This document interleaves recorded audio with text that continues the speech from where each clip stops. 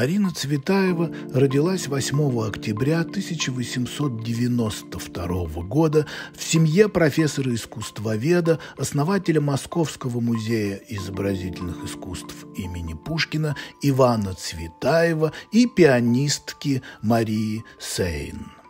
Девочка начала писать стихи шести лет не только на русском, но также на немецком и французском языках. Марина росла вместе с сестрой Анастасией, которая была двумя годами младше нее. Девочки получили домашнее образование, затем учились в гимназии. С 1910-х годов пути сестер разошлись. Анастасия тоже занималась литературой, писала прозу, намного пережила сестру и умерла в 1993 году. Свой первый сборник стихов «Вечерний альбом» Марина Цветаева опубликовала на собственные деньги в 1910 году. Он привлек внимание знаменитых поэтов Валерия Брюсова, Максимилиана Волошина и Николая Гумилева. В гостях у Волошина в Коктебеле Цветаева познакомилась с Сергеем Эфроном – в январе 1912 года они сыграли свадьбу. У пары родились дочери Ариадна и Ирина. В 1914 году Цветаева познакомилась с поэтессой Софьей Парнок, роман с которой продолжался два года. Цветаева посвятила ей цикл стихов подруга и на время этих отношений уходила от Эфрона. Позднее роман «Спарнок» Цветаева охарактеризовала как первую катастрофу в своей жизни.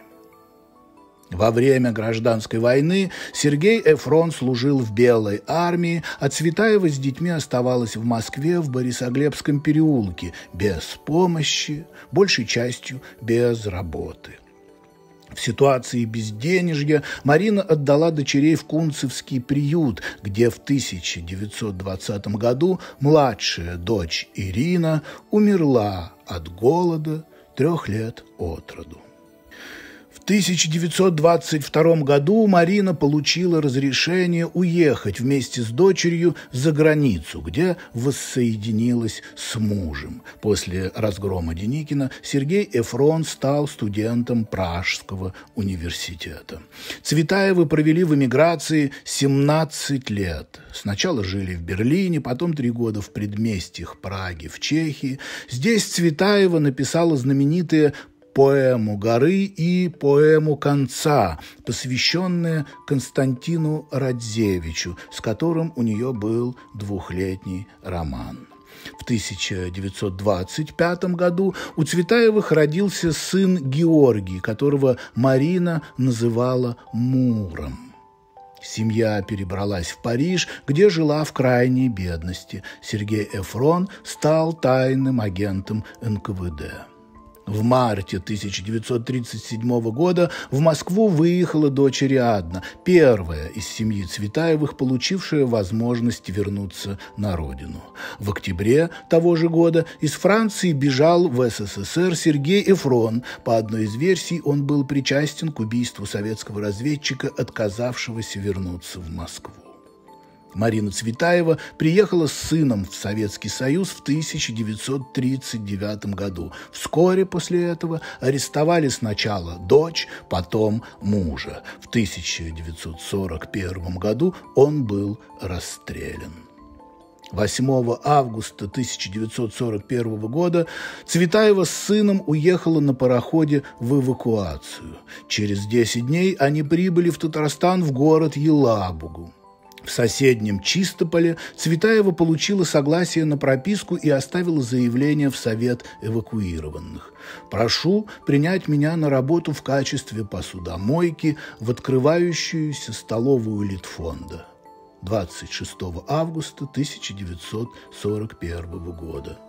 28 августа Цветаева вернулась в Елабугу с намерением окончательно перебраться в Чистополь, однако Спустя два дня 31 августа 1941 года Марина Ивановна Цветаева повесилась. В предсмертной записке 15-летнему сыну было написано «Мурлыга, прости меня, но дальше было бы хуже. Я тяжело больна, это уже не я. Люблю тебя безумно. Пойми, что я больше не могла жить». Передай папе и Але, если увидишь, что любила их до последней минуты, и объясни, что попала в тупик. Похоронена 2 сентября 1941 года на Петропавловском кладбище в Елабуге. Точное расположение места упокоения неизвестно. Здравствуйте, дорогие друзья. Я вас всех приветствую. Я благодарю всех, кто собрался с нами в этот вечер. И с нами находится дух, о котором сейчас говорили. И я немножко объясню, как это происходит. Дух находится в духовной форме, через, и он взаимодействует с внешним миром через духовный канал, медиума, в данном случае через мой. Когда люди задают вопросы этому духу, дух воспринимает через а, духовный канал контактера. Точно так же он отвечает своими мыслеформами, то есть мыслями и образами, и вкладывает их в сознание контактера, в его ментальное поле. И контактер уже проводит это через себя, через свою психику, через свой мозг и дает ответ через свое тело. Так делают абсолютно все интервьюеры. Поэтому у каждого а, информация преломляется его личностью. Но степень этого преломления может быть разная, что зависит от многих факторов от а, чистоты духовного сердца контактера, от степени совпадения его вибраций и вибраций духовной сущности, от опыта контактера и от многих других факторов. Теперь, когда вы понимаете, как проходит информация и от чего это зависит, а, я готова а, передавать вопросы и ответы Марина находится здесь в сопровождении ангелов-проводников, которые помогли ей настроиться на меня, как на медиума, а, и помогли ей совместить мой духовный канал с ее энергетическим полем. Она приветствует всех.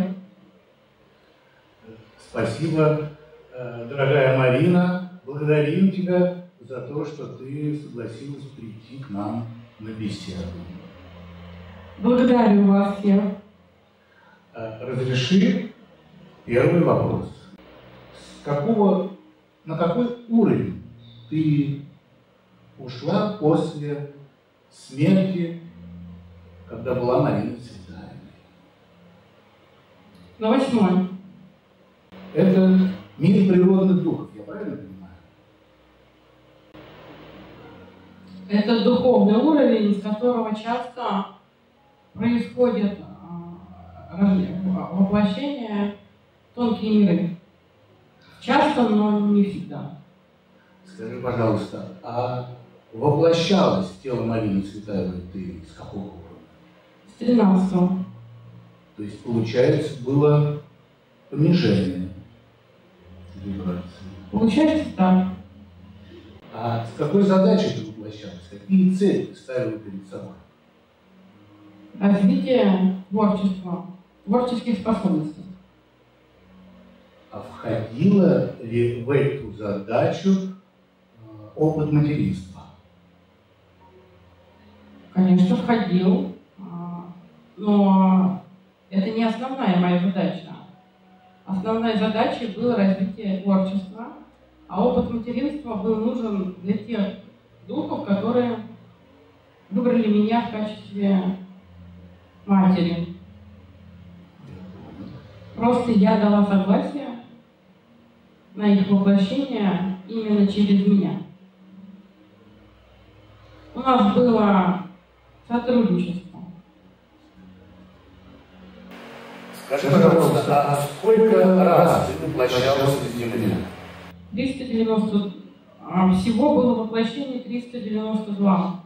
А из них на Земле? На Земле я воплощалась три раза. Можешь сказать, э, в кого и когда? Предыдущее мое воплощение было в 1710, да, хорошо. В 1710 году от Рождества Христова на территории Великобритании я была воплощена в его сейчас. Да, хорошо. В барона, которого звали Дж- он сейчас его показывает. Э, Это вот как граф, да, да, хорошо, барон. Его звали Джон Мильтон как-то вот. Джон Мильтон? Ну, Джонни Мильтон, то есть вот какое-то а, слово, как я перевожу, Джон Мильтон, да. Это не поэт? Это Джон... Нет, это какой-то как граф. Но. Мы... В той жизни я тоже занималась, занималась литературным творчеством, но гораздо меньше. То есть это было не основное занятие, А другие воплощения? которое на Земле Да. Первое мое воплощение на Земле было во втором веке нашей эры на территории Австралии. Я воплощалась в девушку, которая жила в одном из лесных племен. У нее было много детей, и она занималась домашним хозяйством. Это было как какое-то как племя. Ну, какой-то деревушке они жили, сейчас показывают. Она мне сейчас показывает. Остальные мои воплощения были на, да, на других, в других мирах. Ну и, естественно, в других уровнях плотности различных небесных тел и Земли. Какие-нибудь наиболее значимые для тебя можешь привести? Да, для меня было самым, а, одним из самых значимых воплощений. Но это было достаточно давно. Я воплощалась ж- же- же- женщиной. Я воплощалась женщиной на планете, да, еще в разуме контактера, название. Я воплощалась женщиной на планете Тумису, которая была женой местного правителя. И сама занималась науками, например, такой как социология и политология. Там мне удалось, почему это да, хорошо, почему это воплощение для меня значимое, мне удалось там достичь 22 уровня. Это был самый высокий уровень, на который ты выходила? Да. Скажи, пожалуйста, а самый низкий уровень, на который ты когда-нибудь попадала в духовном мире? Третий. Можно узнать, после какого воплощения и почему? После воплощения в одной из тонкоматериальных цивилизаций а, в в галактике М31. Это был 19 уровень плотности, и то воплощение было понижением для меня с 11 уровня. Из-за того, что я не выполняла свои задачи и перешла на питание негативными энергиями гуманоидных цивилизаций. Это все снизило мои вибрации и мой духовный уровень, потому что я наполняюсь негативной энергией, считая ее пищей, вместе с этой энергии поглощала грехи и пороки тех существ, которые ее из себя излучали. И я начинала считать их за норму. И все это вошло в мое духовное сердце, и я стала такой же, как и те, кто меня кормил. А так как их было множество, то это повлияло на мой духовный уровень. Я уже не смогла воспринимать свет божественной любви. Я смеялась над ним и отворачивалась от него из-за своего, из-за своей жестокости сердца. Это был, это был то воплощение, на котором я попала на самый низкий для себя уровень. Я понял, спасибо большое. Возвращаемся к Марине Цветаевой. Скажи, пожалуйста, удовлетворена ли ты своим воплощением? Нет. Можешь объяснить, почему? Первая причина, я не выполнила свою задачу. Вторая, а, да, я не выполнила полностью свою задачу. Творчество, а, в моей деятельности еще не наступил творческий расцвет. А, на момент моей физической смерти. То есть я могла бы больше развить свои творческие способности и могла бы еще учить этому других. А ведь когда какой-то способности учишь многих людей, она усиливается у тебя самого. То есть это тоже был для меня путь, который я не прошла, не получила этого опыта. Вторая причина – это понижение моего уровня, которое произошло из-за уныния из-за чувства уныния, безнадежности, чувства вины, страха и обид, которые были а, мной унесены в мое духовное сердце, и которые находятся со мной сейчас, и которые мне предстоит очистить следующих рождений. И третья причина – это, почему я недовольна воплощением, потому что я отказалась, да, я, я отказалась от жизни, и это не позволило мне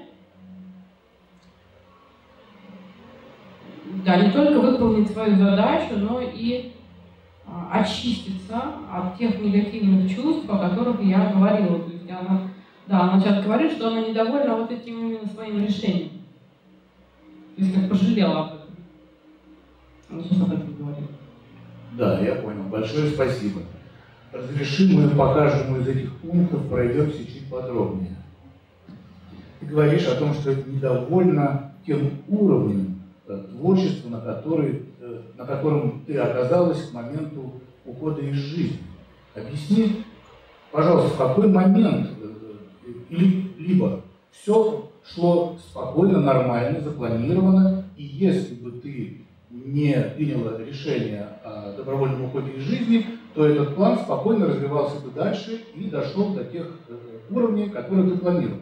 Либо пробуксовки и какие-то э, ну, э, неудачи творческого порядка стали появляться гораздо раньше и в некоторой степени привели к решению уйти из жизни.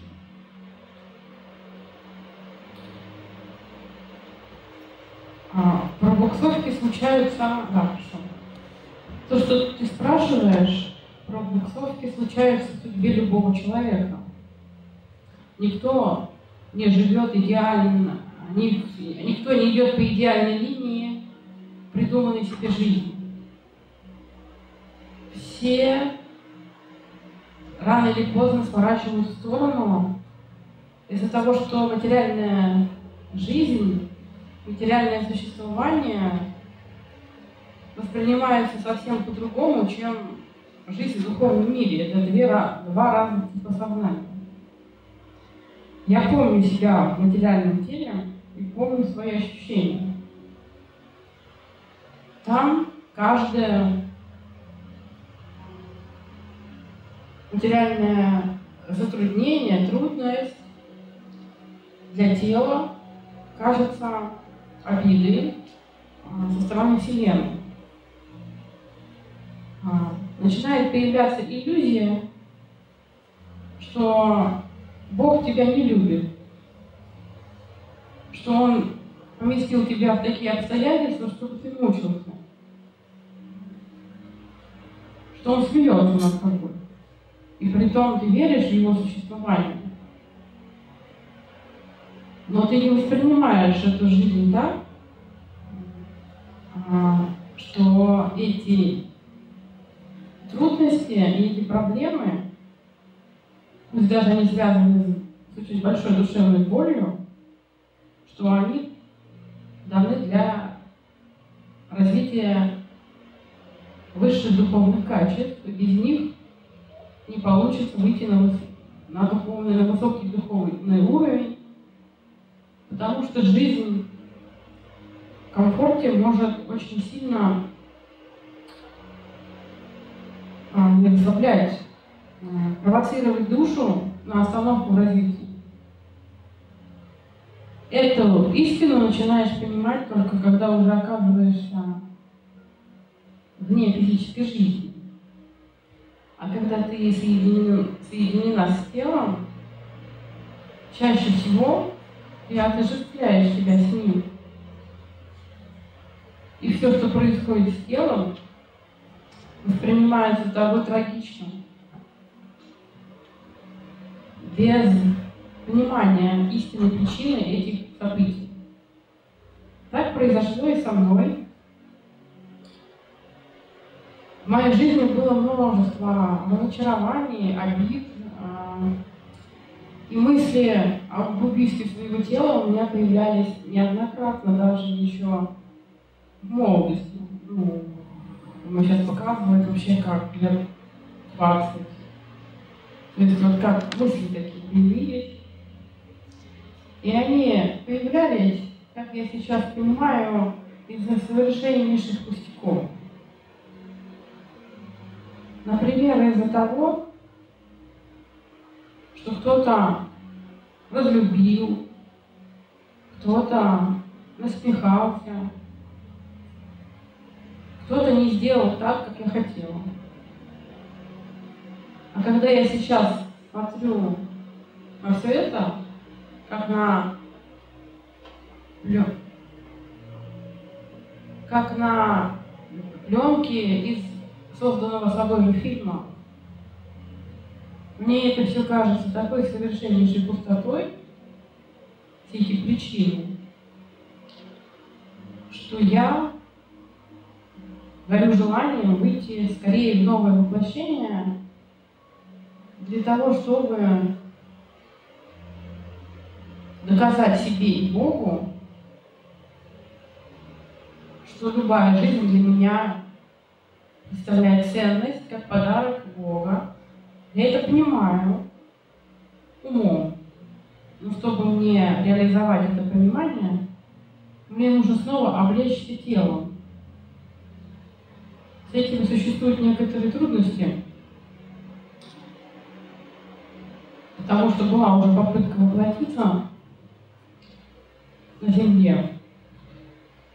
Но она закончилась убийством моего тела в утробе матери. Больше эта женщина не захотела начинать ребенка и приняла меры к безопасному сексу. К сожалению, пока никто, кроме нее, не согласился в духовном мире и воплотить меня из тех, кто подходит мне по вибрациям. Так что ждем. Мы знаем, что э, тебя выгнали из гимназии.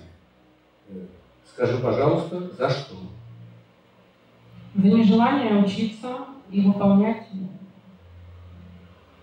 задания учителей. Я читала постороннюю литературу и еще подбивала других детей не слушать учителя. Высказывала прямо в классе критику в отношении учителя, как он вел урок, и вообще умничала и показывала, что знаю больше его. А когда ты начала курить? Подростковом возрасте она мне как пробовала, вообще где-то лет, наверное, 12. То есть это мне показывает, как кто-то а, кто-то более старший дает, как, какие-то как подруги. И продолжала уже до конца жизни? Нет, я сначала просто попробовала, а потом у меня не было да, периода, когда я курила, потому что это было как запрещено. Но потом, когда взрослая была, А какие марки ты предпочитала папирос? Ну, она мне просто показывает, скручивает что-то такое. Понятно. На фотографии, по крайней мере, мы знаем одну фотографию, где ты в очках. И ты страдала, как я понимаю, бездорогостью. Но почему ты очки не носила? Вопрос, почему? Они мне казались красивыми. Для тебя важно было быть красивой? Конечно. Я ведь понимала, что красота – это путь к сердцам мужчин.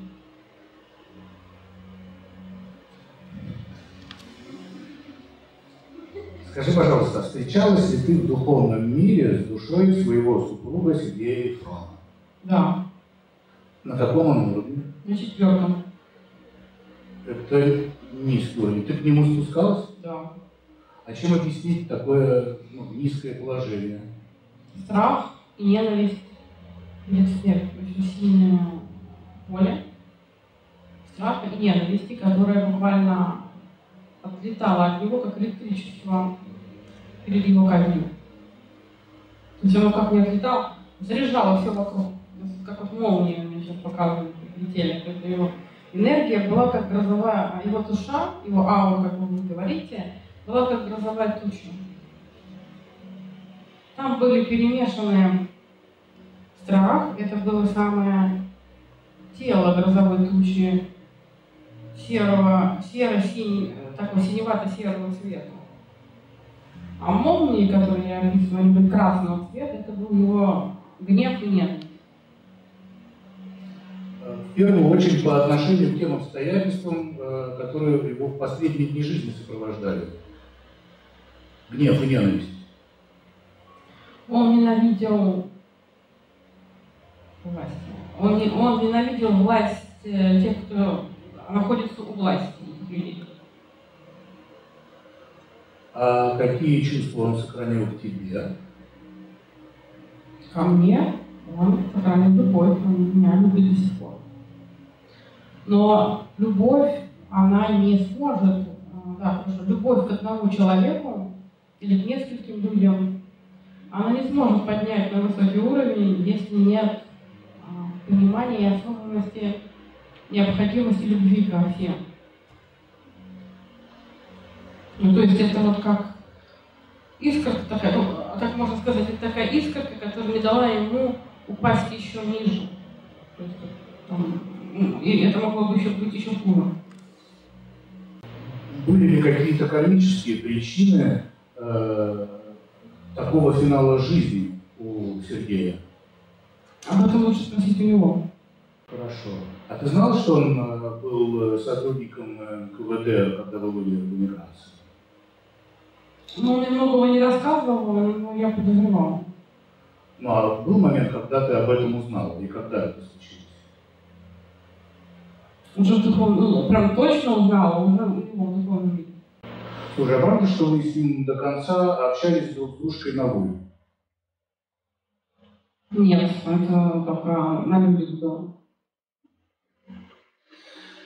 Э, Не могу не задать вопрос про Софью Парно. которой ты увлеклась буквально через ну, короткий промежуток времени после того, как вышла замуж за Сергея. Скажи, пожалуйста, что ты искала в этих отношениях и получила ли это?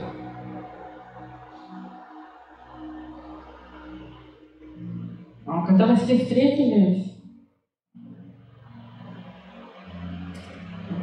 наши души узнали друг друга, мы были близки в нескольких прошлых воплощениях. И у нас стало необъяснимое, у нас возникло необъяснимое притяжение друг к другу. И мы это восприняли как знак судьбы, как э, необходимость того, что нам нужно быть вместе и морально и физически. Но потом она уехала. Мы сейчас показываем друг другу город. Хотя я этого не хотела. Но это было какое-то драматическое расставание, ссора? У меня была... Нет, она просто как уехала, чтобы как устроить свою жизнь. С мужчиной. С мужчиной. Сказала, что она любит мужчину и, соответственно, уехала. А, и нет было ссоры, я ну, как буду ссориться, это ее выбор. И внутри у меня, конечно, бушевала буря, я очень обиделась. Это мне показывает как обида, ну, то есть как чувство несправедливости. И она как обида, такая как скука, и даже вот как одновременно злость. Ну, то есть вот такое вот скопление таких чувств э, первоначально возникло первые, может быть, несколько месяцев. А потом я э, долго над этим размышляла, переосмыслила и простила ее. Тем более, что буквально там через там, пару лет эти все мои чувства стали уже не актуальны. Ага. Уже началась революция, и мне нужно было выживать э, с детьми. То есть это уже не для душевных терзаний было. Есть это вот как, а, можно так да, я сейчас скажу понятным языком. Я понимаю сейчас, что я всем этим мучилась от того, что у меня, ну, как я уже говорю, комфортное, спокойное, так сказать, сытое существование относительно. И у меня было время и силы предаваться этим страстям и э, порокам, том числе изменам своему мужу. Я считала, что чем больше я ему буду изменять, тем больше он меня будет ценить, потому что бояться меня потерять. Это мнение изменилось сейчас? Конечно. Оно изменилось еще при жизни.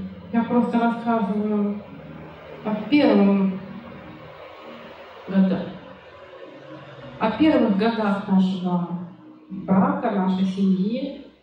И я действительно сожалею о том, что при создании нашего семейного, а, нашего семейного гнездышка, а, нашей семейное, так сказать, пространство, я сама своими руками заложила под это основание, под этот фундамент. А, ну вот он мне сейчас показывает, как не крепкие камни, а вот как какие-то, как вот как гнилые, такие как пни, то есть что-то непрочное. То есть это, я тоже об этом сожалею, и я сейчас вижу, что последствия вот этого моего состояния, которое вызывало мое поведение, в том числе они повлияли на, а, на самого Сергея и его а, ревность и его ко мне, а не ко мне, они, он меня любил, он ревновал мужчинам, а ревновал он очень так яростно, то есть, ну, такой как яростью. И теперь я понимаю, уже поговорив с ним, что вот эта ярость, она вызвала в нем в конце концов вот это а, желание а, воевать, вот так вот, ну, вот так вот а, идти убивать. И если бы я так себя не вела, и относилась бы к нему по-другому, я считаю, у него бы жизнь сложилась по-другому, включая его качество. У вас были какие-то совместные воплощения в прошлых жизнях? Вы пересекались ранее? Были, но не на этой планете. Это было в тонких мирах. И вы договорились воплотиться и провести эту жизнь вместе? Да, у нас были такие... У нас были встречи в духовном мире перед воплощениями нашими. И у нас был такой совместный э, план, да. А, ты говоришь о сожалении, которое сейчас испытываешь, э, когда размышляешь о многочисленных изменах э, мужу, ну, об увлечениях. Но я же, ты завел разговор про Сонечку, которая была мне не просто подругой, она была моей любовницей. И да, мой муж Сергей считал эту связь изменой. Несмотря на то, что это была женщина, и не было отношений как мужчина, ну, то есть вот как, а, как бывает у мужчины и женщины, были отношения как женщина-женщина. Но тем не менее, он считал это все равно изменой, потому что я ушла к ней. Мы жили с ней одно время. Мы сейчас показываю, как вот, вот как квартиру снимаем. То есть он понимал, что это не мимолетное, просто какая-то прихоть или увлечение, что это с моей стороны нечто серьезное, что может поставить под угрозу существование нашей семьи. И от этого он так не ревновал. Он с ней виделся, мы встречались э, как общих компаниях, и он так неприятен. Ну, конечно, он не так ревновал, как к мужчине. Но, однако же вот ревность была. А насчет других измен, да, то есть у меня было несколько, сейчас показывает. А, да, хорошо, шесть человек, мужчин, которыми были ну, вот так вот какие-то как временные встречи. Назовем это романами. Ну, такие краткосрочные. Но именно их ты имеешь в виду, когда говоришь, что э, Сергей ревновал тебя к этим мужчинам. Да. Сейчас ты испытываешь сожаление от того, что э, это чувство в нем вызывало такими, таким своим поведением. Да, я сейчас испытываю сожаление, потому что я сейчас считаю, что человек э, не должен был доказывать любовь ко мне тем, что он постоянно прощал меня измены и боролся за меня. Это называется, как это, сейчас сейчас подбираю слово, это называется управление человеческой душой для удовлетворения а, чувства собственной незначимости. Да, то есть вот как я не чувствовала себя значимым ребенком в своей семье, я там ревновала родителей младшей сестре, и, соответственно, это все вылилось в то, что я искала доказательств любви. То есть, ну, это она сейчас уже говорит как анализ, скорее. Это не тогда она не понимала, сейчас я скажу. Это вот как ее анализ. Вместе с тем, э, вот эти вот увлечения, как я понимаю, были э, топливом для твоего творчества. Не было бы этих романов, не было бы этих роскошных э, поэтических ну, целых циклов, которые были посвящены и Сонечке, и ну, так я, же, я же сказала с самого начала, что моей задачей было развитие творческих способностей. А уж через что их развивать, это был мой выбор. Я могла их развивать через э, другие э, чувства, совершенно другого светлого характера. Многие сведения о тебе мы подчеркнули из твоего дневника. Он предельно откровенен.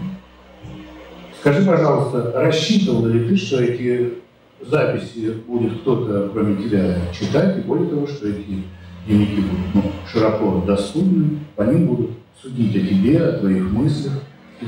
Вообще, изначально, то есть, когда я писала, я не задумывалась, я писала для себя, просто вот как свои чувства, мысли, впечатления, чтобы они не канули в лету.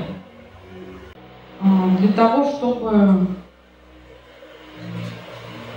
потом, перечитав это, понять, как я вот как изменилась. То есть вот как вот, да, для работы с собой скорее.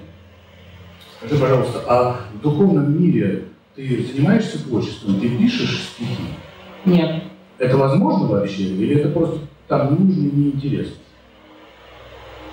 Стихи — это лишь форма творчества в материальном мире. Это определенные слова, да, хорошо. Это определенный поток слов, который складывается на том или э, на языке, э, которым говорит человек, ну как бы это говорите в рифму. Здесь искусство состоит в том, чтобы через эту форму передать содержимое своей души. А в духовном мире мыслят э, не так. То есть там нет таких вот слов. Там мыслят просто понятиями. Поэтому, например, два духа которые не, ну, можно сказать, не изучали языков друг друга. Ну, например, я, который там не знал японского языка, и какой-нибудь дух, который вышел из воплощения японца, но не знал там русского и других языков, которые знал я.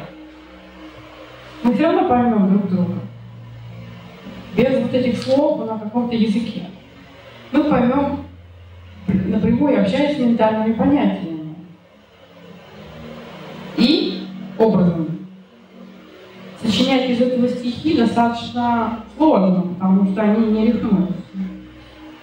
Это просто как поток мыслей. А у тебя есть какие-то контактеры на Земле? Нет. В твоих дневниковых записях, касающихся, э, в частности, твоей э, младшей дочери Ирины, есть э, обороты, которые могут шокировать. Я не буду их при, приводить, но они свидетельствуют, что ты не только не испытывала к ней любви, но даже как будто ненавидела.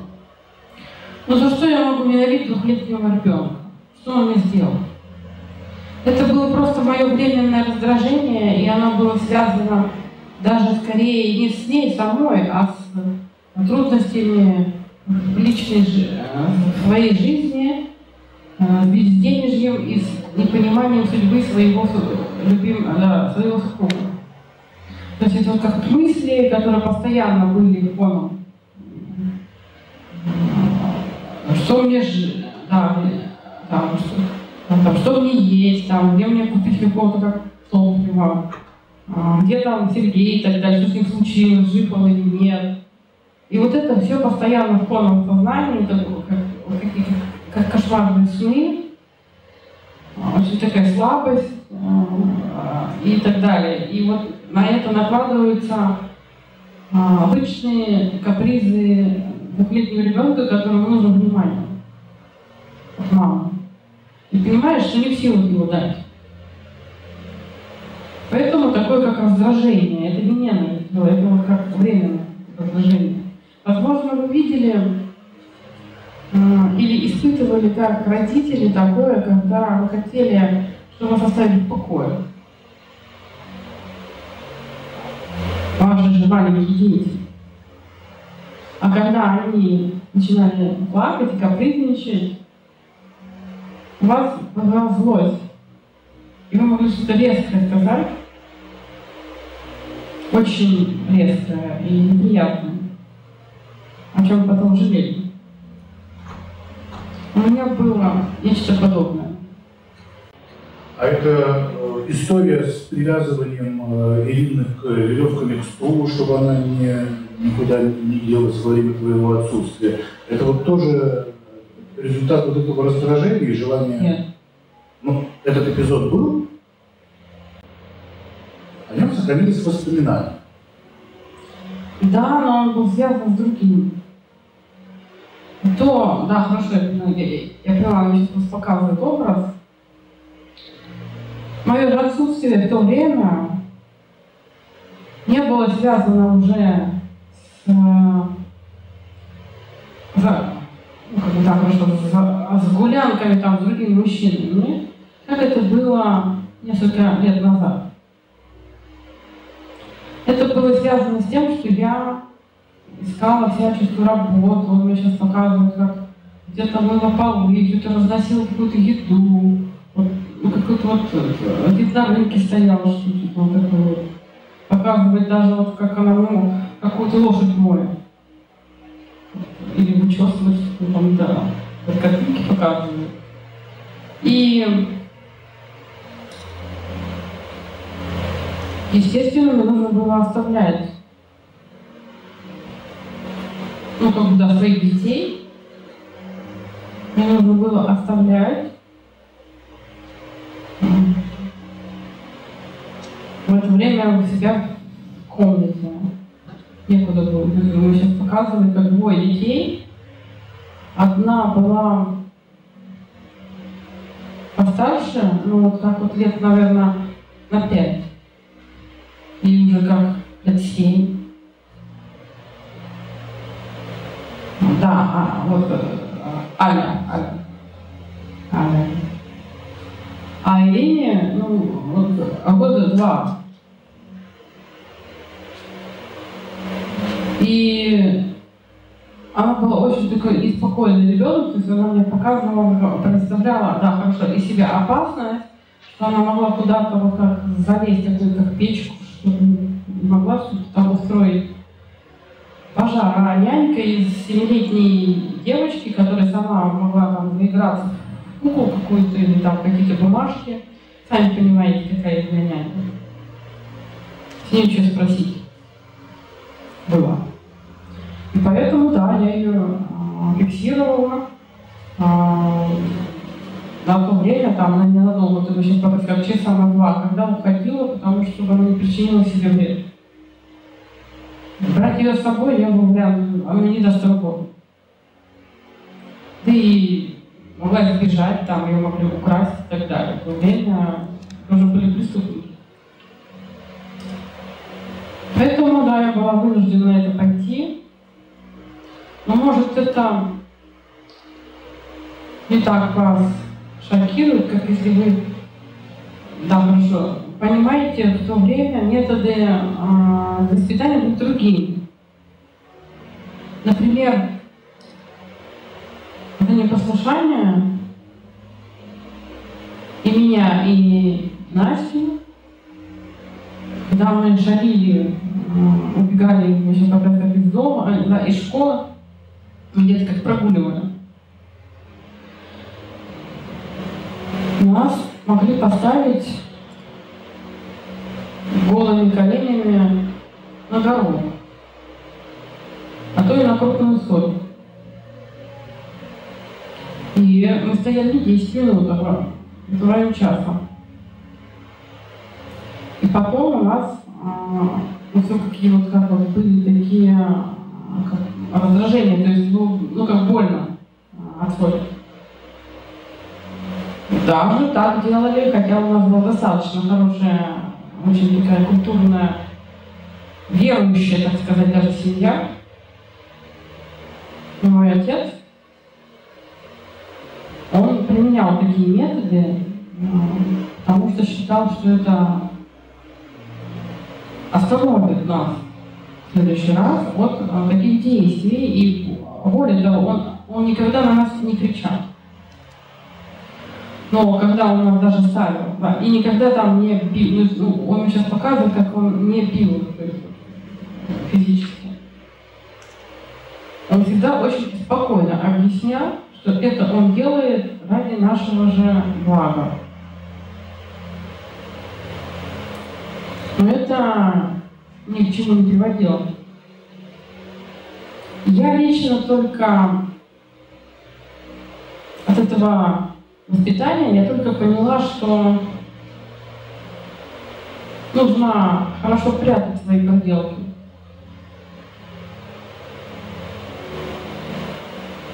Спасибо. Возвращаемся к твоей младшей дочери. Правда ли, что у нее была задержка ментального развития? Ты про Ирину? Да. Но там не понять еще было, ей она была маленькая. То есть это задержка, возможно, это просто недостаток внимания. Потому что когда с ребенком не занимаешься, не рассказываешь ему сказок, не поешь песенок, он может а, очень поздно начать говорить. Ему просто это незачем делать.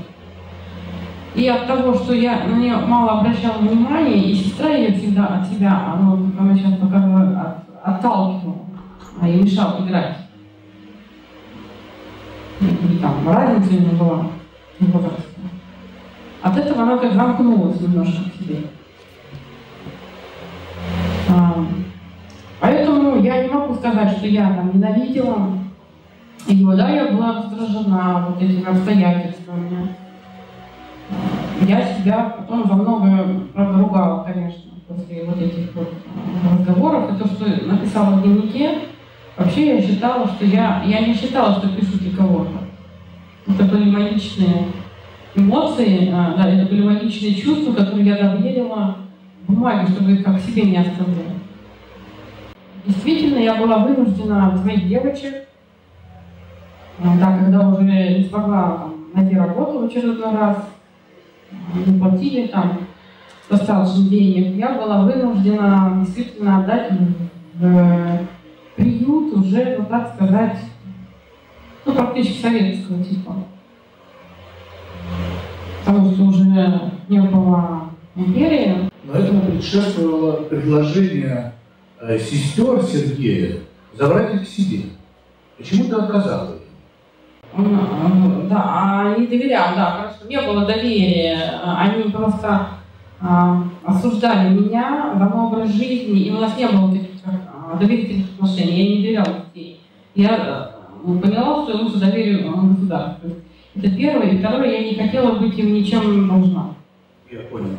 И разреши я еще раз уточню. О тех условиях, в которых оказались дети в приюте, ты не знала. Ты узнала только уже, когда Аля заболела, а Ира умерла. Я считала, что там все-таки лучше присмотр с детьми, потому что а, это все-таки государственное учреждение, а, где как работают а, уже опытные люди, и я не думала, что это будет безразличное к а, чужим детям. И действительно, получилось так, что младшая дочь погибла, и, и, и то, там не давали пищу, как я потом узнала у руководства этого детского дома, дети были старшего возраста, питались вместе с детьми младшего возраста в одной. Никто там за ними особо не следил. И как мне потом рассказывали, их как нянечки, Бывало так, что старшие подбегали к младшим отбирали них пищу. И били. Били и отбирали пищу. И так их запугивали, что они потом сами не подходили кушать. И брали свои, ну как вот. А, да, то есть им там давали, но они как бы как прятали. А да, нянечки, они просто запустят в столовую и уходят заниматься своими делами. То есть такое мне рассказывали. И в конце концов она э, впала в бессознательное состояние, заболела и умерла. Потом, кстати, я всю свою оставшуюся жизнь ругала себя за это решение э, отдать ее на государственное попечение. Но когда я уже вышла из воплощения и вышла в духовный мир, да, я хочу сказать, что она мне даже снилась часто приходила во сне и тянула ко мне руки. И говорила, как она меня любит.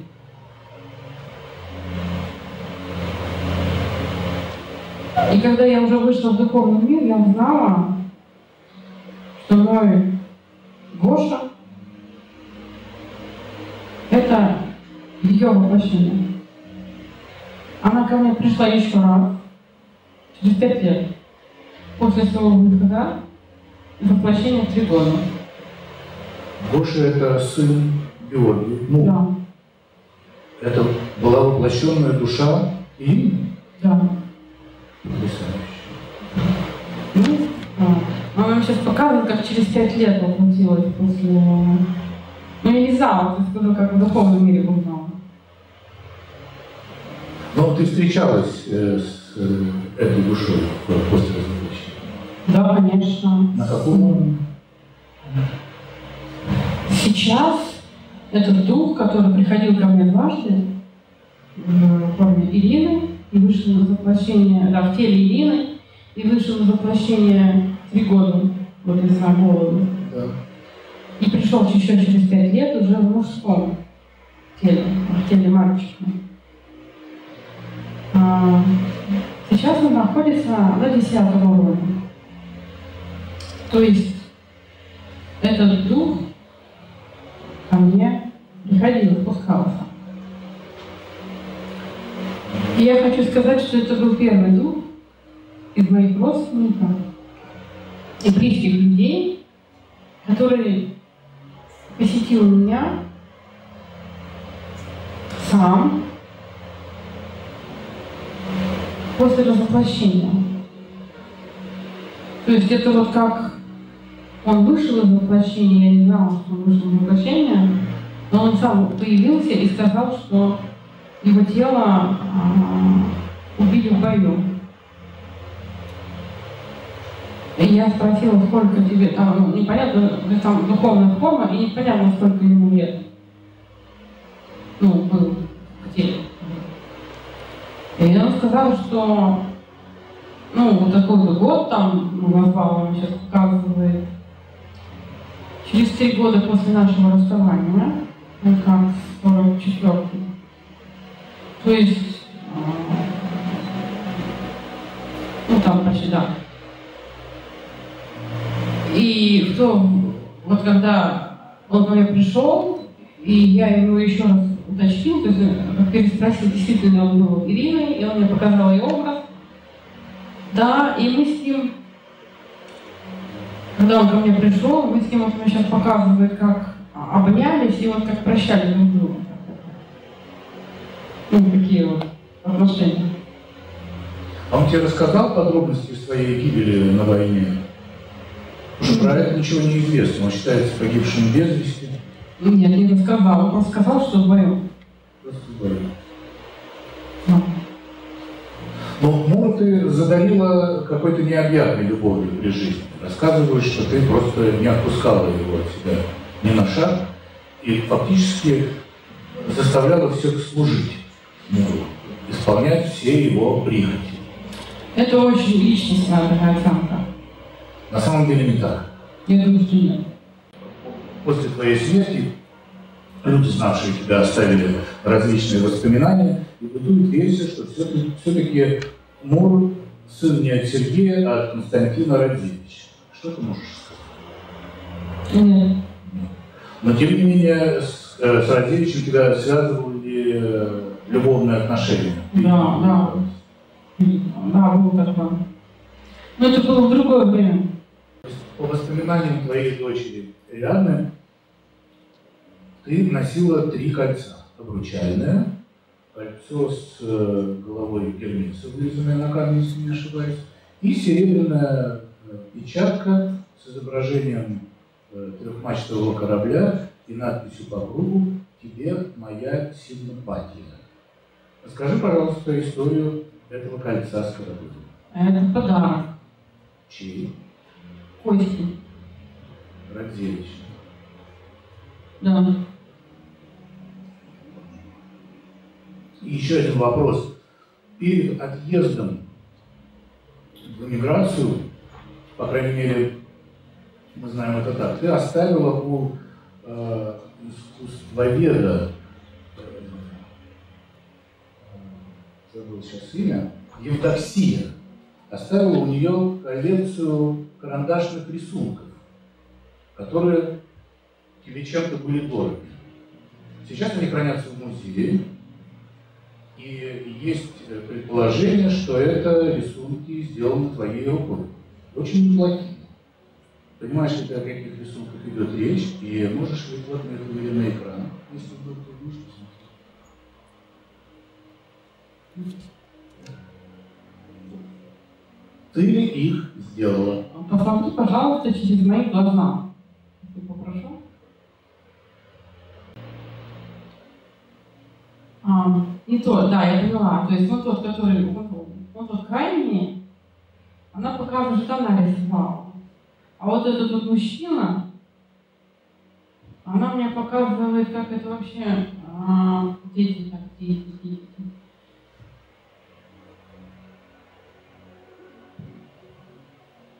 Ариадна, очевидно, да? Ну, то есть, да, вот как дочка, когда она еще не была в тюрьме, то есть, как ее. И еще она мне показывала там, а, еще были рисунки, которые сын еще рисовал. Как дети, она говорит, дети, дети. Вот, вот в этой папке были рисунки ее и детей. Детей. Я да, понял. да. Спасибо большое.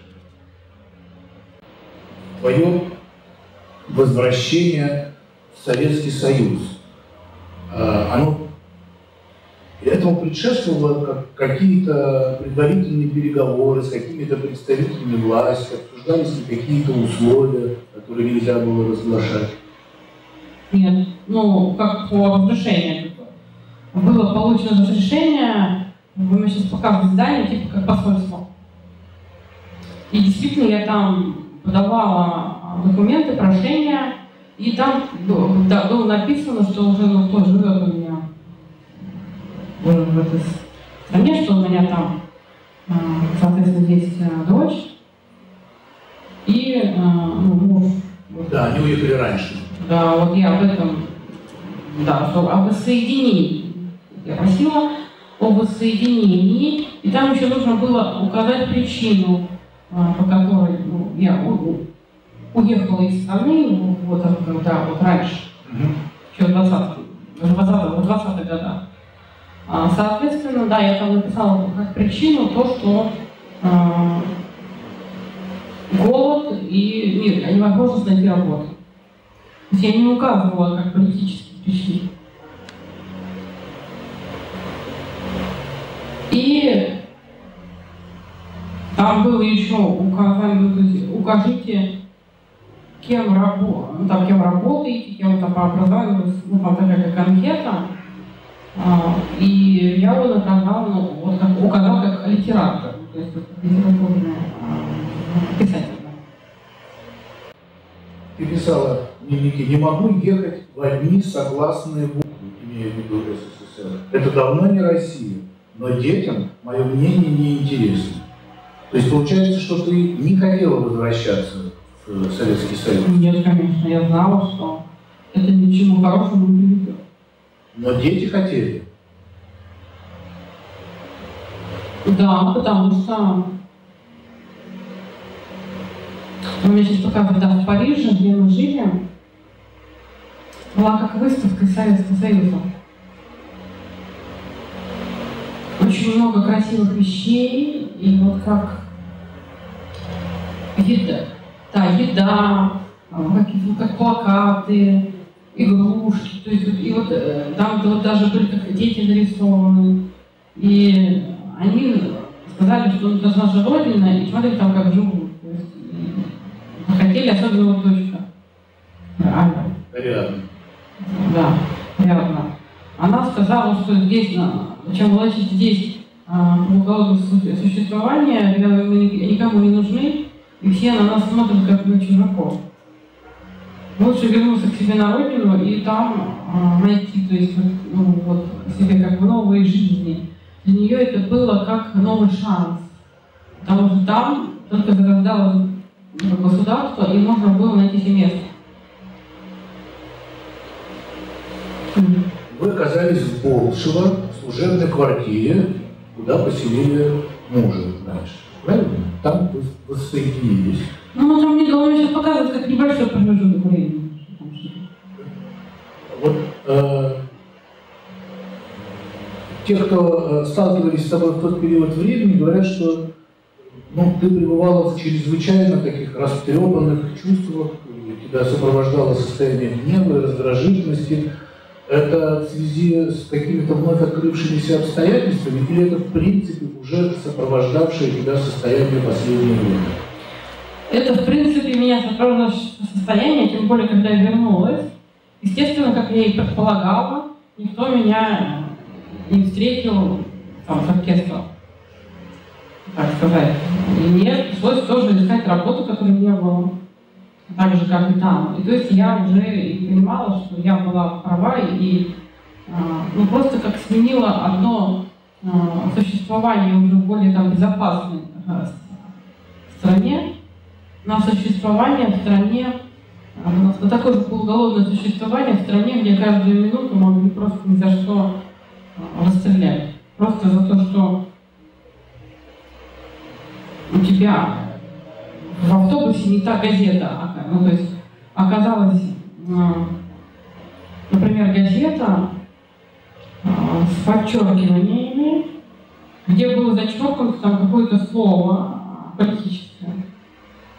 Или, например, было очень много запрещенной литературы. То есть он сейчас показывает, как если находили, например, что-то наподобие книги там Троцкого, а, какого-то Каменева, а, э, это могли за это расстрелять. Это вот как распространение. А, и многое другое. То есть, э, прежде чем разговаривать с людьми, нужно было думать над каждым словом. Там-то я привыкла свободно выражать свое мнение. А когда я приехала в СССР, мне приходилось думать над последствиями. Мне было очень тяжело, очень тяжело себя сдерживать, видя, с одной стороны, вот эти лозунги, там, все у нас хорошо, мы идем к развитию, мы развиваемся, ура, товарищи. А с другой стороны, видеть эту разруху. Ну, очень тяжело было морально видеть и молчать. И поэтому я была очень раздражена. А я понимала, что стоит мне открыть рот, меня не будет очень быстро. Иллюзий по поводу человеколюбия, так сказать, революционного ЧК я не имела. Этому моменту ты осознавала, что ты ну, один из там, крупнейших поэтов России? Нет, конечно. Ты себя когда-нибудь воспринимала ну, значимой фигурой русской культуры? Нет. Значимые для меня были Пушкин. А из современников? Некрасов. Современников? Ну, показывает, как а, Гумилев, вот, ну, читала. Еще а, любила читать а, Ахматову. То есть вот ее стихи. Ну, современников, если так. Блок, э, Есенин, ну они так были там менее значимые. То есть я вот, больше любила э, вот эти вот стихи. Да. Переписка с Пастернаком у тебя продолжалась Тоже, Да, но ну, больше как друзья были, я его ценила даже не за литературное творчество, а вот за отношения ко мне и за его характер. То есть вот, ну, мы как совпадали с ним, да. То есть очень такой близкий друг был. А когда начинаешь оценивать литературное творчество близкого друга, то ты в любом случае предвзят. Поэтому я больше говорю о произведениях тех людей, с которыми я так близко не дружила. А что за отношения у тебя были с Мандельштамом? Такое впечатление, что это сначала была какая-то вспышка любви, а потом такая же вспышка ненависти. Знаете, я вам сейчас объясню. А, не было ни того, ни другого, просто среда, где мы общались, она была очень такая разнородная. И мы могли ну, поругаться и помириться из пустяков каких-то. То есть вот, там, косо брошенный взгляд, там, неподанная рука, а, там, и так далее. Они могли привести вот к этим вот а, чувствам обиды, потому что все люди не реализованы практически в своем, а, в своем творчестве, не признанные, все ищут там признания, и очень такие, я бы сказала, нервно ранимые. И тем более, как я уже сказала, вот постоянно вот под этим гнетом как бы внешнего контролера, внешнего наблюдателя по тем причинам, которым я сказала. Это вот как... Я вам сейчас расскажу. Жить и творить в период революции похоже на то, как сидеть на пороховой бочке, шнур от которой находится у твоего злейшего врага. То есть ты просто не сидишь и пишешь что-то. Но ты понимаешь, что этот шнур может зажечь в любой момент человека, который очень сильно поругает. А может и не зажечь, как захочет. Вот это такое ощущение. Только оно постоянно. Все члены твоей семьи оказались э, арестованы НКВД. Тебя эта участь миновала. Почему? Есть ну, я уже объяснила, я следила за своим языком, и когда меня, меня тоже вызывали, мы сейчас пока как на допрос по поводу мужа и дочери, то есть нашли такие вот как приехали и вызвали на допрос по их поводу, и я только а, сказала, что они не а, виновны, и ну, на меня особо там не давили, просто ну, чтобы я дала свидетельские показания. А, но я уже знала, как с ними разговаривать, так, чтобы э, ну, и а, не отдать их, и в то же время не вызвать подозрений. Я говорила с ними так, что они честные советские граждане, люди, которые приехали из иммиграции, где я подчеркнула достаточно, ну, не то, что прям хорошо, но мы жили так, что могли там жить и дальше. Но если мы сюда вернулись, значит, было именно в эту страну притяжение наших э, сердец. Мы приехали, чтобы послужить строительству советского строя. И я не понимаю, дорогие, ну, я не понимаю, дорогие товарищи, чем именно мы вызвали такие подозрения. Но если они имеют носовую почву, то, конечно же, эти люди, то есть мой муж и дочь, они заслуживают, конечно же, наказания по закону. Потому что я, хотя я и мать, и э, жена этих людей, но я не желаю иметь ничего общего с людьми, которые предали наше общее дело. Ну, то есть я говорю все в таком духе, я понял. может, не такими словами, но в таком духе. И этим я, э, свои подозрения, естественно, не возникли в отношении меня. Но в то же время я очень сильно переживала по поводу ареста дочери и мужа. И более того, сын уже подрастал,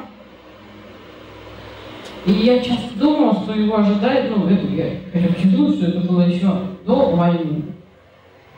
Сын уже подрастал, он был подростком. И я на него часто смотрела и думала, что его жизнь тоже учит. Что он брат э, арестованной э, женщины, что он сын человека, которого там, подозревают в контрреволюции. Я понимала, что их вот эта судьба, она навлечет подозрение на него. И куда бы он ни пошел там работать, учиться, это будет записано в его ну, как, ну, как деле НКВД, они на всех заводили такие карточки. Благонадежный, благонадежный, благонадежный, там были свои коды даже. Я понимала, что он будет под этим клеймом ходить ну, всю свою жизнь сознательно. И стоило ему как-то отступиться, для него это был бы конец. Я очень этого не хотела, я оберегала его, проводила с ним очень много бесед, как ему правильно ну, себя вести, вот так разговаривать. но его даже это в последнее время особенно начал достаточно так раздражать. Это моя работа. То есть он так отвечал очень резко. Но он еще был в таком возрасте подростковом, когда, в принципе, все родительские увещевания и просьбы вызывают протест и раздражение. Однако это, да, я это понимаю, но у меня от этого тоже это вызывало боль. То есть это вот как неблагодарность. То есть в моих Как ты думаешь, сейчас уже глядя из духовного мира, каковы причины вот этой ненависти, злобы, которая охватила страну во время и после революции? Ведь это же было какое-то массовое насилие одних над другими. Что? Мое мнение в том, что это все охватило страну, в том, что человека очень легко манипулировать очень легко разными э, лозунгами охмурить его разум э, и манипулировать его чувствами, его сердцем и управлять им, как вот, как вы говорите, как роботом. То есть это нежелание большинства, ну большинства из народа думать о своем умом и отвечать за себя. Только такие люди начинают верить лозунгам и идут, а, жертвуя, свои, жертвуя и своими жизнями, и чужими жизнями. Потому что они верят в некий образ, некую иллюзию, которые преподносят как истину. И они, у них нету а, ответственности чтобы взглянуть на то, что им преподносят. А так ли это на самом деле? Они просто это не задумывали. Почему такие люди, большинство? Потому что я считаю, что это недостаток а, в первую очередь государственного воспитания. Ну, не существует, по крайней мере, когда я, как я уже училась в гимназии, и знаю также всю эту систему изнутри. Не существовало тогда, сейчас я не училась уже в вашем, в вашем времени, но тогда, вот в тот момент времени, не существовало такого предмета или такого даже преподавания предметов, которое развивало свободу творчества, свободу мышления, ответственность за себя и за а, семью. А, просто растили людей, которые были бы хорошими рабочими, знали бы минимум мироздания и просто приносили больше а, прибыли а, крупным а, собственникам, которые производили товар. Это нужно было вы, просто вырастить хорошего работника, который зарабатывал много денег, а, и потом их со вкусом и удовольствием тратил на всякие пороки и развлечения. Это не способствует свободе мышления. Чем больше человек начинает развивать свою, начинает услажда, наслаждаться своей плотью, тем меньше он обычно, ну не всегда, конечно, я говорю, обычно, начинает обращать внимание на дух, на душу. И в нем начинает расти так называемая сладострастие. То есть любовь к удовольствию.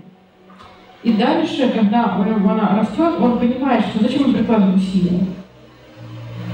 В том числе и в э, сфере мысли. Вот если так говорят, а что прилагать усилия, они начать думать. Если так говорят, значит это правда. Говорят, иди убивай белого, значит это правда. Говорят, иди убивай красного, значит надо идти. Что думать? Нет вот этой свободы мышления. То есть это вот причина, а, по-моему, вот этих, вот, вот этой трагедии, которая постигла а, мою страну, в которой я родилась последний раз. А я родилась уже в Российской империи. Это моя родина. И вот эта духовная причина трагедии этой страны. Я понял, спасибо большое. Сама ты занимала неизменно сторону э, Белой гвардии, скажем так. Ну, потому что не защищали прежние э, порядок, который я привыкла. И который, тем не менее, ты считала ну, предпочтительным, правильным по сравнению с тем порядком, который пришел после революции. Ну, они же отказывались от всего, ну, что вот накопил в себе а, империя и от всяких ну вот у меня сейчас показывают как такой устой общества, это был отказ. Это был полное, а, полный передел всего государства. Это, был, пол, это были новые законы. Это были, ну, это были наказания, репрессии в отношении тех, кто придерживался старых законов. И я уже сказала, что это было очень а, опасным временем, потому что очень легко в то время зрела ненависть. То есть вот из-за этих манипуляций вот, в людях зрела ненависть, и очень сложно было а, ну, там, заниматься творчеством в том числе.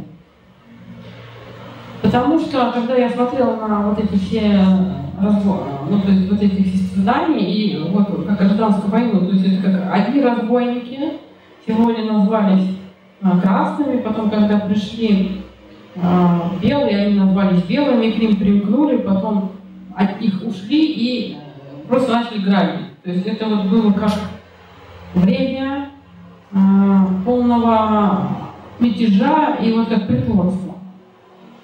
То есть вот такие вот были вещи. Это был хаос. И, конечно, я не могла это одобрить, потому что да, это разрушало и мою жизнь тоже, мою семью. Э, Сергей, он, как я уже говорил, ушел на фронт. И это тоже добавляло мне страдания мою и так уже ими наполненную чашу. Все-таки я чувствую некоторый парадокс. Ты выступаешь за, выступала за сохранение устоев старого мира и вместе с тем сама по натуре своей была бунтарка, была революционерка, которая как раз взламывала и, и, и моральные устои, ну, и поэтические традиции. Ты, э, да, но ты не сравниваешь взламывать в словах традиции или, или ради убивать людей. Это совершенно разные вещи. Этого я не могла одобрить. Это просто, это не бунтарство уже, это просто преступление перед Богом и людьми, которое было прикрыто а, этими манипулятивными словами, чтобы просто взять власть и все. А в какой стране ты хотела бы воплотиться вновь? Снова в России, потому что один из кармических узлов у меня связан с э, неприязнью э, к Советскому Союзу. То есть это вот как к не то, что прям ненависть, а вот как страх и неприязнь. Вот, по, да, по отношению к тому строю, который был. А ведь это же э, территория России, и вот мне необходимо было воплотиться на территории России, чтобы прожить здесь жизнь и снова полюбить эту страну. Ну, то есть вот как избавиться от одного из кармических узлов, на котором а, стоят многие подсознательные настройки, а, которые влияют на уровень. Ты будешь писать стихи в новой жизни? Не уверена. Но творчеством будешь заниматься? Я бы скорее хотела воплотиться каким-либо ученым, либо связанным с медициной, либо с биологией, ну что-то такое, с изучением как бы жизни или помощи другим. Мужчина или женщина? Мужчина. Скажи, пожалуйста, ваш отъезд с Муром в эвакуацию, это было добровольное решение или вас вынудили заставили? Добровольно. Добровольно. А это как бегство от войны, то есть когда наступала война, и это как, чтобы убежать, но а, нет, это не было желания туда ехать, это когда вынужденно, то есть нас как распределили по разным отрядам. По прибытии в Елабугу у тебя были встречи с местными представителями НКВД? Да. Они чего-то хотели от тебя, требовали, ставили какие-то условия? Были три встречи, но они были, так сказать, не гласные. То есть это вот как, ну, как бы сказал, без протокола.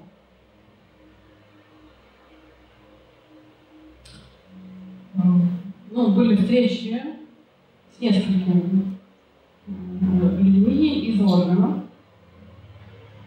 Ну, первая встреча была посвящена тому, чтобы ну, сделать из меня, как называется, ну, доносчика. Он сейчас показывает, чтобы я следила за разговорами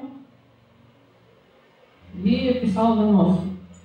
Я отказалась, и через некоторое ну, меня отпустили, через некоторое время вызвали снова, и ну, уже сказали, что я нахожусь в слишком опасном положении для того, чтобы... То есть мне, да, я первый раз отказалась, и мне потом вызвали второй раз и сказали, что ты находишься в очень опасном положении, потому что ты мама и а, жена людей, которые уже осуждены, ну, как, как враги. Враги народа. То есть ты находишься в опасном положении и не советую отказываться. Ты, ну, то есть мы как вот говорили, что это может причинить тебе очень большой вред. Ты сама можешь попасть под подозрение, потому что не хочешь помочь а, выявлять других преступников, ну, как врагов. А значит, можешь попасть под подозрение, что ты им потворствуешь, ну, врагам. Поэтому, ну, мы не можем тебя заставить, они сказали, но отказывая, ты ставишь себя в опасное положение. Мы бы не советуем. И я им обещала, что подумаю об этим предложением. И ушла. Действительно, я думала, что мне делать. Я действительно слышала вокруг себя различные разговоры, которые могли бы подставить людей под статью. Я, конечно, понимала, что ну, под статью даже такую расстрельно. Я знала закон, за что это может быть. Ну, конечно же, я могла соврать и сказать, что я готова на вас работать, а сама ничего не докладывать. Но тут все дело в том, что такое вранье бы не покатило. Потому что если бы был пойман какой-либо человек, допрошен НКВД, и у него бы спросили бы, присутствовал ли при этих разговорах вот эта женщина, и он это подтвердил, то за непополнение вот этого моего обещания, а оно, кстати, фиксировалось письменно, ну, естественно, за это очень большое наказание. Ну, если даже и не расстрел, то, ну, как бы, мы сейчас показываем много лет тюрьмы. Поэтому я понимала, что просто так слова на ветер здесь бросать нельзя. Это очень опасно. И тем более я не хотела быть причиной чьей-то гибели. Я бы себе этого не простила. И вот в этих раздумьях он сейчас показывает, как вот прям вот как вот день прошел. И на следующий день вызывают еще раз. Ну, как не дали много времени думать. И уже другой человек, который был как старший по званию, он был как очень развязанно себя вел и был как в опьянении, что ли, меня показывали. И он смеялся, говорил, каверзные шу, шуточки и говорил в конце, ну я не поняла, я у него спрашивала, какая причина моего вызова. И он сказал, я знаю, что тебя предложили ассессором, но я могу тебя избавить от этой участи, если ты... Ну и тут он стал э, предлагать мне э, стать его женщиной. Но что я, ну, мне отвращение, ну, естественно, я отказалась.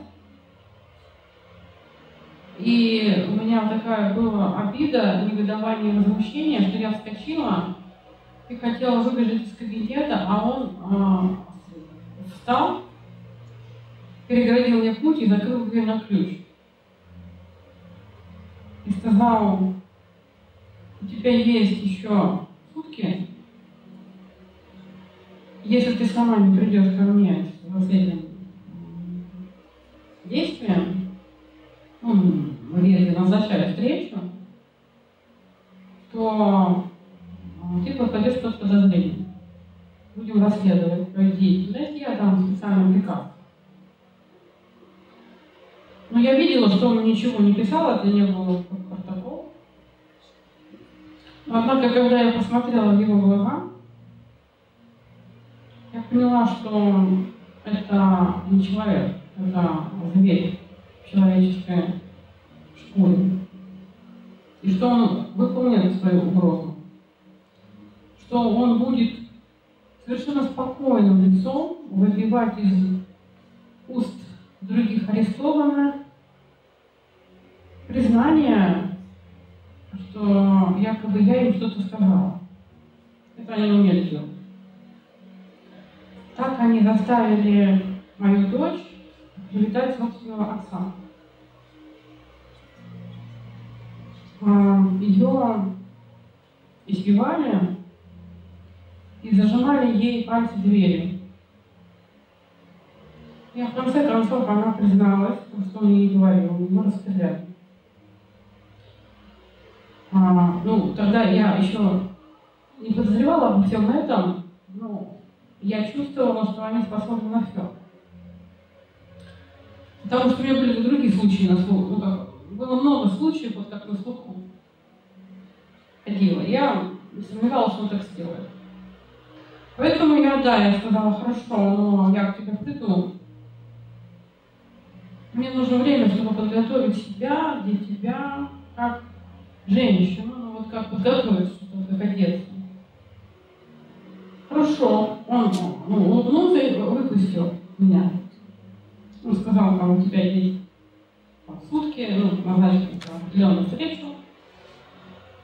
И когда я шла, вот у меня сейчас показывает, как это уже было в Елабуге, вот в этом городе последнем. Елабуга, да. Да.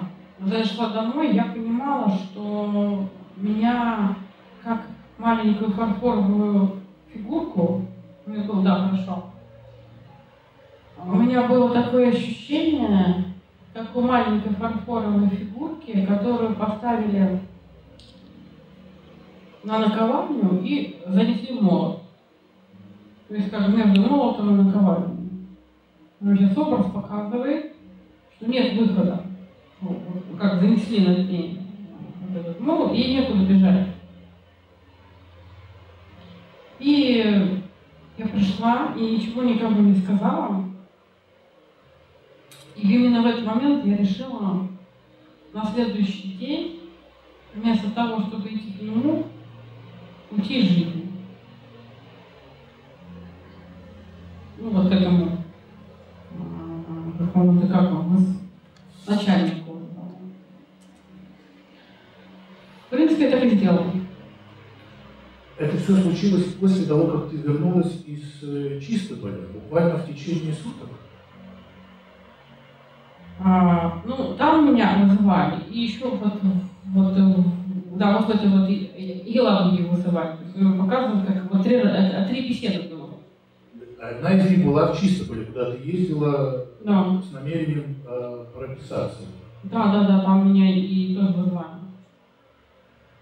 А, вот как раз этим был связан мой вопрос, потому что известно, что вроде бы все в Чистополе складывалось неплохо. Тебе разрешили прописку, там ты оставила заявление э, вот, принять тебя на работу, там была школа для Мора, и вдруг, неожиданно вернувшись, случилось то, что случилось. А сейчас ты нам рассказала, что в Чистополе тоже была встреча с... Да, была.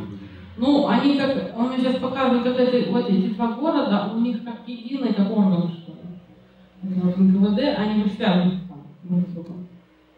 Смысл слов в этой твоей предсмертной записке о том, что это уже не я, и я попала в тупик, это вот как раз результат ну, просто я писала, чтобы объяснить своему сыну, ну, не, э, не вовлекая на него опасность, потому что если я написала про эти поползновения в мою сторону, он бы мог это сказать где-то.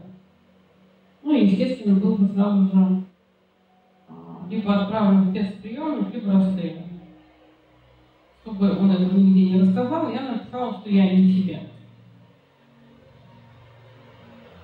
Что-то э, рассказывают про какую-то рыбу, которую ты жарила перед э, смертью, которая осталась на керосинке, на сковородке. И якобы это свидетельствует о том, что решение твое было спонтанное, и ты совсем не собиралась уходить из жизни. Что это за рыба?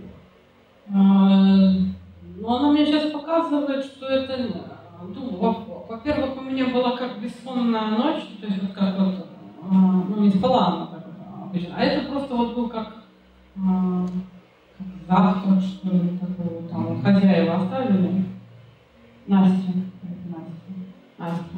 Хозяйка она оставила и ну, попросила пожалуйста. И ну, вот в этом процессе ко мне пришла мысль, что ну, я пока никого нет, нужно это сделать, меня не спасли. Хотя уже потом, когда я, естественно, многократно просматривала линии вероятности после выхода из воплощения, что бы случилось, там, я не пошла, наверное. Что бы произошло? И действительно была вероятность того, что этот, а, кто меня вызывал, ну, это просто образ показывает такого мужчины, он действительно мог начать против меня обвинительное дело. И у меня был единственный способ этого избежать, это пойти на то, что он предлагал. Но этот способ, он был временный. Он бы потом мог вообще, он бы мог потом все равно, ну как, он мог все равно потом а, завести вот это вот дело, когда бы я ему надоел. И я смотрела, какой там вариант был правильный, и единственный а, был правильный вариант, это это идти к его начальнику, уже там был еще как бы выше, и ну, просить защиты, как вот письменно написать все как есть, и просить защиты. Его бы тогда на время следствия, его бы тогда вообще э, ну, закрыли в тюрьму. А, и, соответственно, э, была большая вероятность того, что мне поверят и его осудят за превышение э, полномочий. То есть ну, вот была такая вот вероятность, что если бы я обратилась, а, я бы осталась жива, и мне бы не пришлось а, предать а, любовь в очередной раз, то есть она так не хотела изменять мужу. То, что я рассказала, это было в прошлом. Я уже хотела, несмотря на то, что я не знала, что с ним, но как вела его быть. Это первое. Второе, это были, было просто противно, ну, то есть вот. И у меня была единственная вот эта вот как вероятность остаться в живых и не быть вот э, расстрелянным. Или осужденный, например, у меня была там вероятность, что я буду осужденный там на многие годы, но заболею там и тоже выйду из воплощения. То есть там тоже была такая вероятность. А вот чтобы остаться на свободе и ну, в целости и сохранности, необходимо было сделать такой выбор. Почему я его не сделала, тоже смотрела. Но знаете, у меня даже и не появлялась такой мысли. Почему не появлялась? У меня вот из-за этого недоверия и а, неприязни к советской власти. Если бы она у меня хоть там капелька была бы доверия, я бы попыталась себя как-то защитить вот этим способом. А так я была уверена, что что это, ну, это ничего не даст, и, и только ухудшит мое положение. Если я пытаюсь как-то пожаловаться. И поэтому у меня даже мысли не возникла куда-то идти и просить защиты у самих же органов, которые я считала а, просто как разбойников. Спасибо. Э, в переднике, в котором ты погибла, э, в кармане э, после твоей смерти была найдена записная книжка, где было написано одно единственное слово, которое можно прочесть как «мордовия». Что означает это слово, как оно оказалось в записной книжке? Я, когда еще жила, она показывает, что это было слово, а написано еще это было не в этом городе, это было еще в Москве. То есть вот эта книга, она была новая.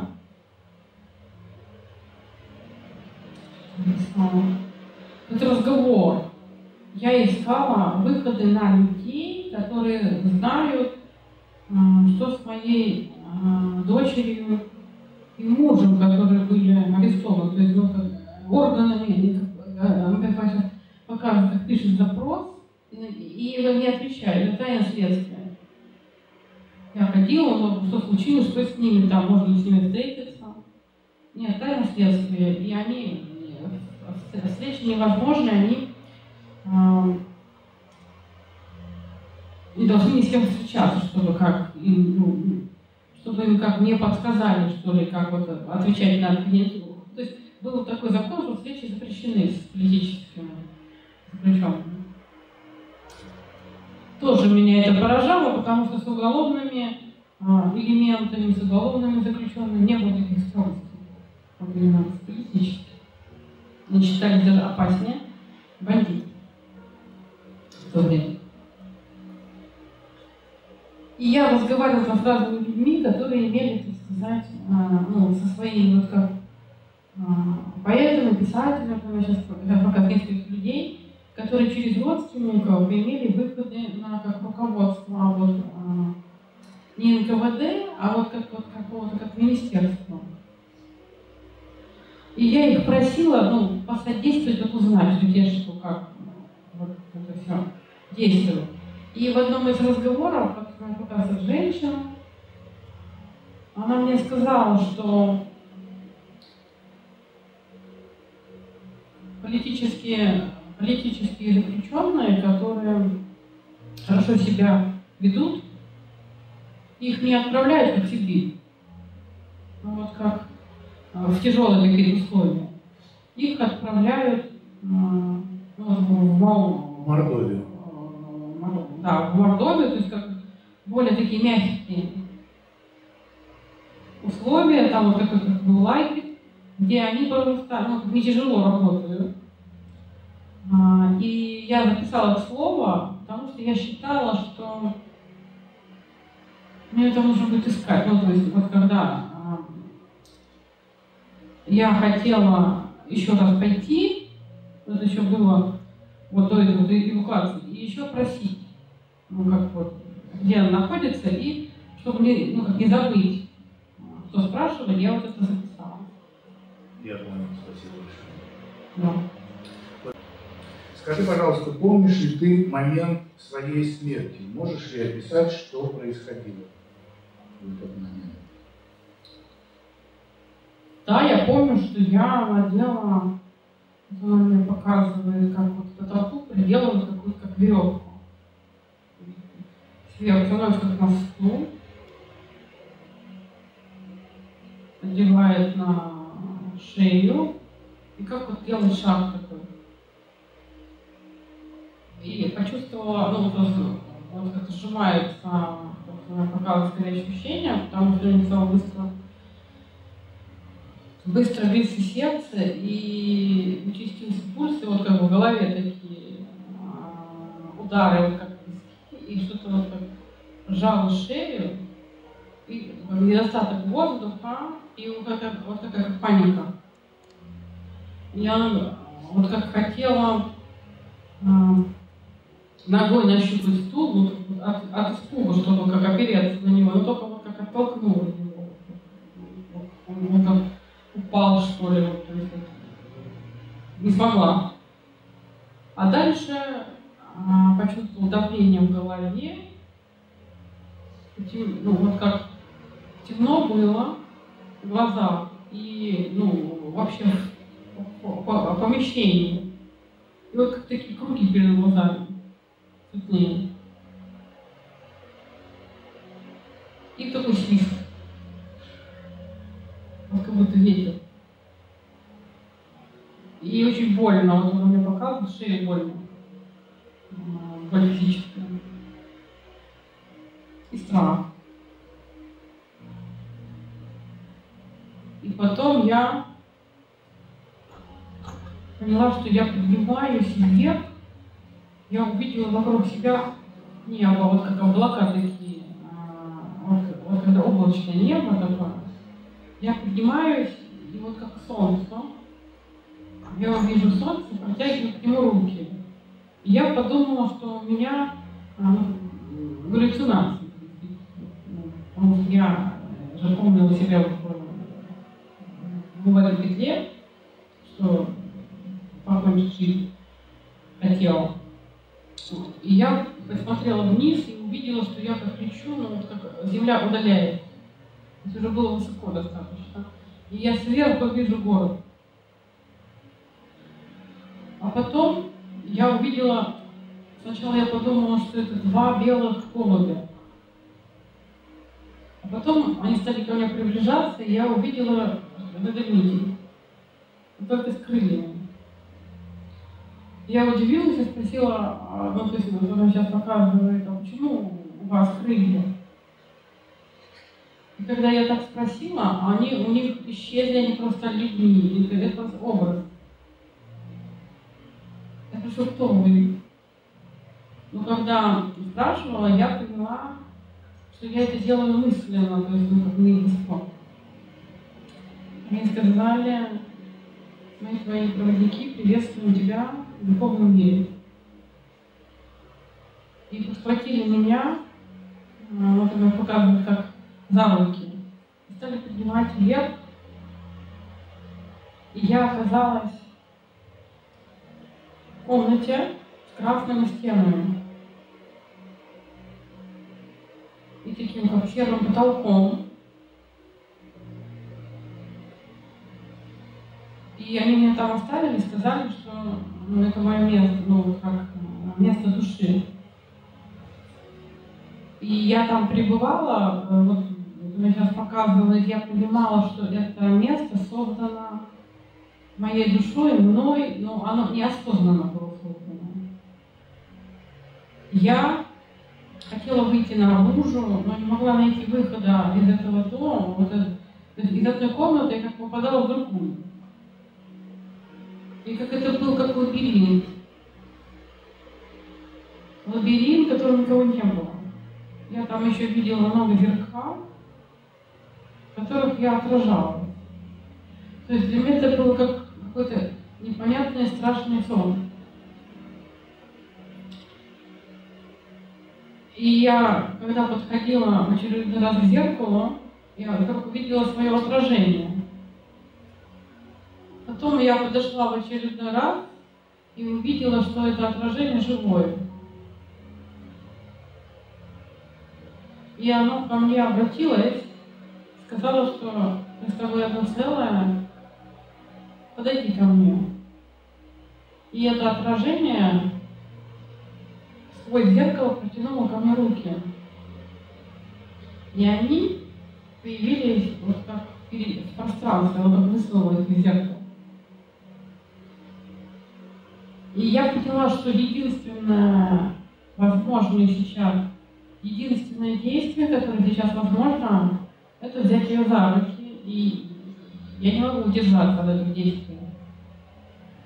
Хотя мне было ну, совсем не по себе. Но я поняла, что это просто необходимо, потому что это мой как рефлекс. Я взяла ее за руки и шагнула в зеркало. И когда я так сделала, я поняла, что я знаю все. Я поняла, что я много раз существовала в разных мирах. И передо мной стала разворачиваться лента событий моей жизни. И я уже смотрела на нее, как вот со стороны смотрит фильм, бесстрастно, уже без этих эмоций. И с этого момента я стала видеть других духовных сущностей, которые находятся на моем уровне, и уже стала общаться ну, с, теми, духами, о которых я вам рассказывала.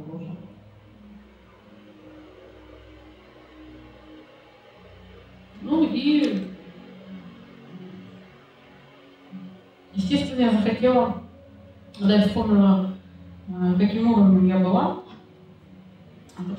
уровень самым высоким я была, сколько там было света, мне захотелось вернуться. Я мысленно выразила это желание, ко мне спустился мой ангел наставник. Это был огромный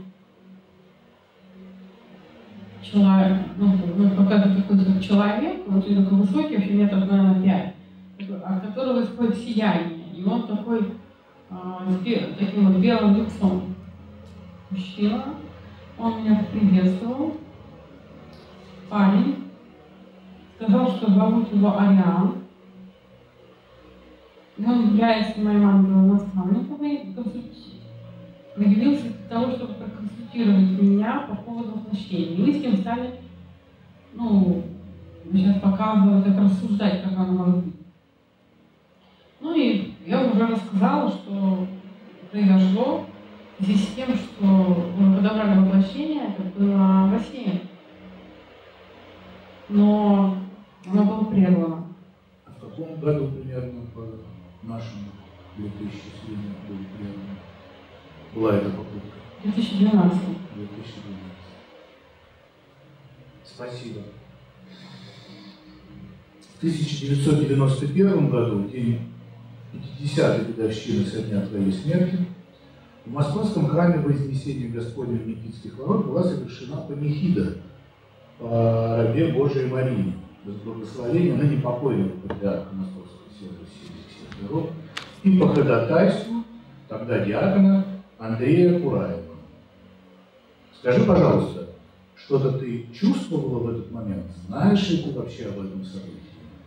Я чувствовала прилив света, то есть вот как любовь, это такой как поток любви и э, надежды на мое лучшее будущее. То есть это вот как такой поток, как будто тебя как поддерживают вот так вот на руках, вот, как мама качает. Такие потоки э, ты часто получаешь э, отсюда, от нас? Нет. Скажи, пожалуйста, ну когда читают твои стихотворения, восхищаются твоим творчеством. На твои стихи написано огромное количество песен, огромное, у тебя самое большое количество музеев в России среди э, поэтов и писателей. Вот эти все чувства, которые испытывают твои поклонники, они как-то до тебя долетают? Но они другие. То, когда а, меня направили вот так свет через вот это а молитвы – это было другое чувство, как будто отец и мать одновременно держат маленькую девочку в руках, вот как упоют. А когда читают стихи, это скорее чувство благодарности и восхищения. То есть это вот как, как равный равному. А вот когда вот эти вот молитвы были направлены, это вот как такое родительское такая любовь. То есть немножко как разные да, ощущения. То есть если поклонники будут молиться э, о тебе, ты будешь это чувствовать Если да. будут искренне молиться, конечно, да. Я посылаю тебе свою любовь. Она улыбается, вот так вот руки сложила и говорит, я тебя почувствовала. Я от них, я от них чувствую, которые сидят в зале, они тоже ей посылают от людей.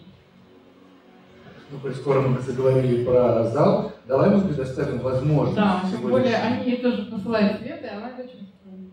А, дорогие друзья, у нас есть уникальная возможность задать духу Марины Ивановны вопросы, если у вас есть. Есть. Мария, а, Марина Ивановна, спасибо за интересные рассказы. Действительно, очень много всего открылось, того, чего неизвестно было. Вот, хотела бы спросить, все-таки, какие были отношения с а, Анной Ахматовой?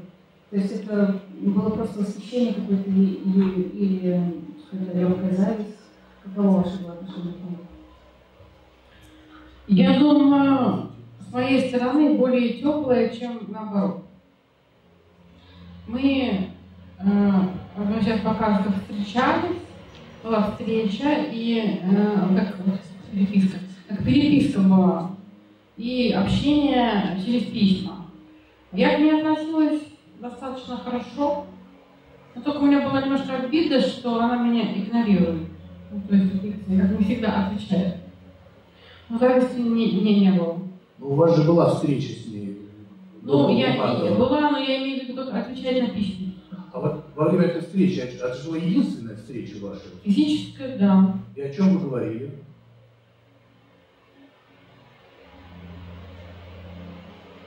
Она показывает две встречи. Одна мы знаем у Ардова дома, а вторая?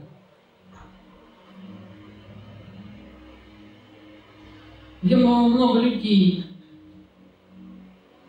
показывает такое, как собрание, вот как такое, не, не вечеринка, а вот как а, и вот там все знакомы, то есть это такая, как вечеринка для своих. Какая-нибудь бродячая собака, наверное, к Ну, это был как... Она сейчас показывает квартиру, но а, туда как пригласили. А, и там вот меня тоже пригласили, и там она была, и там мы недолго побыли, и потом как разошлись. То есть вот как в среде приглашенных гостей скорее. Ты ей дарила какие-то подарки? Ну, она мне показывает э, что-то драгоценный камень какой-то, как что ли. Украшение. Угу приколоть, как такую, с кристаллом таким показывают. Ты с ней встречалась в духовном мире? Нет. Нет. Спасибо. Благодарю еще один вопросик. Помимо записки сыну, еще а, есть информация, что будет еще две записки. Тем, кто будет хоронить, и Николая Кусеева. Это действительно так? Да. А, нет, блин. Еще было... Он мне показывает, как сын подросток, и нужно было его, вот, так, чтобы он в детдом не попал. Людям, которые, я была в них уверена, то есть как друзья, ну еще как с Москвы, ну, как, как пока, да, у меня дружба. И а, соответственно, я надеялась на него, то есть любила его и надеялась на них. Хотя, конечно, полной надежды не было, но вот такой вот была надежда, что они, а, ну, как возникли. Благодарю. И еще последний вопрос. А, что вы могли бы сказать нам, исходя из своего богатого жизненного непростого опыта? Я могу сказать Цените свою жизнь, такой, какая бы она у вас ни была, она у вас одна, именно как у людей. Такой жизни, как сейчас, у вас никогда не будет. Эта жизнь у вас действительно одна. Других жизней, которые будут, уже не будут такой, как сейчас. Уже не будет таких уникальных возможностей. Будут другие. Но этих уже не будет. Цените свою жизнь, даже если вам сложно, даже если вам кажется, что все против вас. Даже если вам кажется, что Бог вас бросил. Это не так. Это кричит, это только кричит ваша страдающая плоть. Обратите внимание на свою душу, на свой дух. Помните, что он бессмертен и что он сам выбрал это тело, эту жизнь. Значит, ему для чего-то это было нужно. Вот чего мне не хватало моей жизни. Я об этом очень редко задумываюсь. Так что я желаю вам всем ну, а, помнить об этом всегда а, и, естественно, выполнить свою задачу и прийти в духовный мир с другим результатом, чем я. Дорогие друзья, давайте поблагодарим Марию Ивановну за искреннее и скажем спасибо Ирине за то, что она все нам передавала. Спасибо большое. Да, я тоже благодарю Марину а, за откровенные ответы, посылая свет своей любви.